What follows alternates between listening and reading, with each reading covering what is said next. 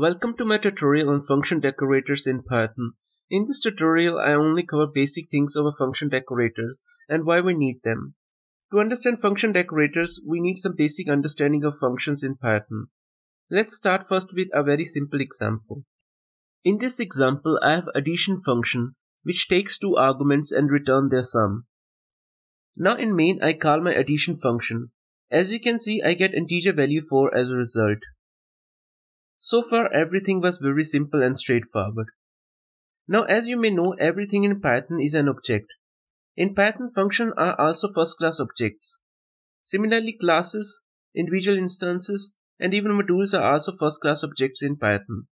In a nutshell a first class object means that there are no restriction on that object like it can be passed as argument in other function etc.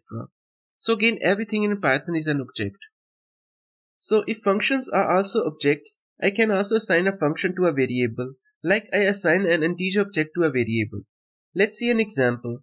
Here I have a variable, my variable 1, and I assign the function addition to my variable 1.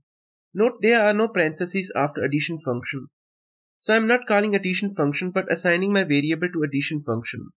Now I can call my function using my variable 1 with parentheses, like I would have done with addition function. Now if you print type and id of both my variable 1 and addition function, you can see both are of type function and they have same id until I call the functions addition or my variable 1 with different arguments. Now let's move further. Similarly, I can define functions inside other functions, so-called nesting. Here I have function addition squared which contains my square function.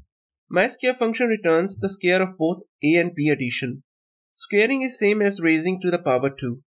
In last line I call my square function inside my addition squared function. Now in main I have called the addition squared function. As you can see I get integer value 9 as a result. Similarly a function can be passed as parameter and a function can also return a function. Let's see an example. Here I have again function addition which takes two arguments and add them together. Now the next function which I named as squared takes a function as an argument. Inside squared function I have nested function get square which also takes two arguments. In next line inside my nested get square function I call any func with get square function arguments. Note any func is the function which I previously passed as an argument in squared function. Now I put the result in my result variable. In next line I return my result variable. Now in squared function I return get square function. Note I am not calling get square function because there are no parentheses. I am just returning a function. Now in main I assign the squared function which has addition function as argument to variable a. Now I can call variable a as function and it returns the sum and square of both arguments. Now the question arises why I need something like that. Imagine if I have not only addition function but also other functions like subtraction, division, modulus, etc. or something more complex and I want result to be squared. Let's see an example. Now I have new function which I named as multiplication in which I multiply both arguments. Now I want the result of multiplication to be squared. To get the square of my multiplication, I just need to pass my multiplication function as an argument in squared function and I will get the desired result. Now you know what decorators are and why you need them. Now Python provides something more interesting. Python allows you to simplify the usage of decorators using add symbol. So let's see what I mean with help of an example. Here I have my old squared function which takes a function as an argument.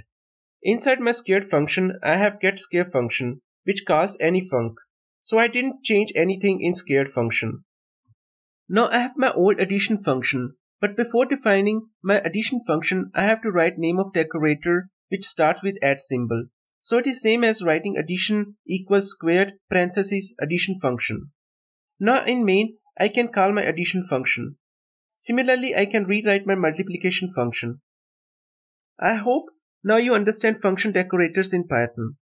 Thank you for watching and please subscribe my channel for future videos.